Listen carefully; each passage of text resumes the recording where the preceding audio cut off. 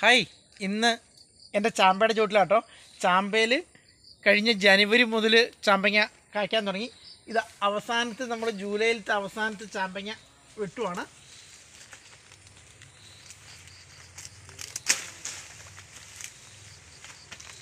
കുറെ ചാടിപ്പോയി. നല്ല നീറുണ്ട് കേട്ടോ. നീറുള്ളതുകൊണ്ട് ഒരു പ്രയോജനമുണ്ട്. വേറെ കീടങ്ങളൊന്നും ചാമ്പയിൽ ചാമ്പേനെ ആക്രമിക്കില്ല അപ്പോൾ ഇതാണ് എന്റെ ചാമ്പങ്ങ. ഞാൻ കാണിച്ചു തരാം. അയ്യോ.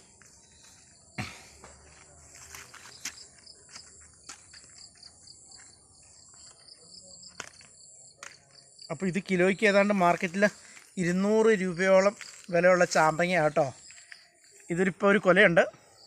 ജാനുവരി മുതൽ കായ്ക്കാൻ തുടങ്ങും. ജാനുവരി മുതൽ ഒരു ജൂലൈ വരെ ഇപ്പം നമുക്ക് കായ്ക്കുന്നുണ്ട്. അപ്പോൾ ഇതാണ് നമ്മൾ തൈ ഉണ്ടാക്കുന്നത് ഒരു രീതി എന്ന് പറഞ്ഞാൽ ഈ ചാമ്പയിൽ ഞാൻ ഇവിടെ ചരിച്ചോറും മണ്ണൊക്കെ വെച്ച് കെട്ടി ഇങ്ങനെ കെട്ടുവാണ് കേട്ടോ. അങ്ങനെ കെട്ടിയാണ് തൈ ഉണ്ടാക്കുന്നത്. ഇവിടെയൊക്കെ കെട്ടിയിട്ടുണ്ട്.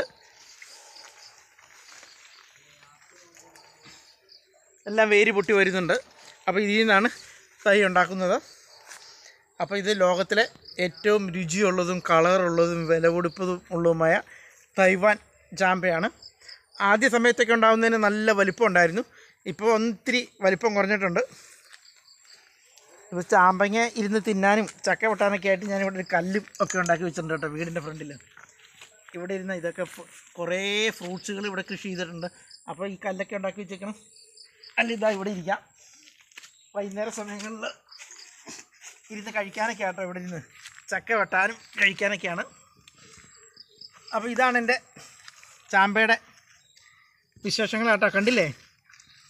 ഒരിടത്തുമില്ലാത്ത നല്ല വലിപ്പമുള്ള ചാമ്പങ്ങ. അപ്പോൾ ഇത് നന്നായിട്ട് കൃഷി ചെയ്താൽ വ്യാപകമായിട്ട് നമുക്ക് കൃഷി ചെയ്യാവുന്ന കേട്ടോ നല്ല വിലയും കിട്ടും. ഇത് കൃഷി ചെയ്യാമെന്ന് പറഞ്ഞു കഴിഞ്ഞാൽ നമുക്ക് ജാനുവരി മുതൽ കായ്ക്കുന്നതുകൊണ്ട് മറ്റ് ഫ്രൂട്ട്സുകളൊന്നും ഇല്ലാത്ത സമയത്ത് നമുക്ക് നല്ല വിളവെടുപ്പും വിലയോടുകൂടി വിൽക്കാവുന്നതാണ്. നമ്മുടെ കേരളത്തിൽ ഇത് ഒരുപാട് ആളുകൾ കൃഷി ചെയ്യുന്നുണ്ട്. പക്ഷേ എല്ലാ വീട്ടിലും ഒരേ ചാമ്പേ ഉള്ളൂ. വിൽക്കാനായിട്ട് നമുക്ക് ആരുടെ കയ്യിലും ഫ്രൂട്ടില്ല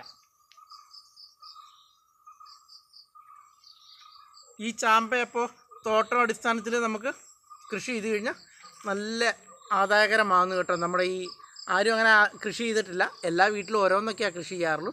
വ്യാവസായികമായിട്ട് കൃഷി ചെയ്യാൻ പറ്റുന്ന ഒരു അടിപൊളി ഐറ്റമാണ് കാരണം മഴക്കാലത്തിന് മുമ്പ് നമുക്ക് ഫ്രൂട്ട് വിൽക്കാൻ പറ്റും. നല്ല വിലയുള്ള സമയത്ത്. അപ്പോൾ ഇതാണ് എന്റെ ചാനലിന്റെ വിശേഷങ്ങൾ കാണുന്ന എല്ലാവരും ഒന്ന് ലൈക്ക് ചെയ്യുക ഷെയർ ചെയ്യുക. സബ്സ്ക്രൈബ് ചെയ്യുക. താങ്ക്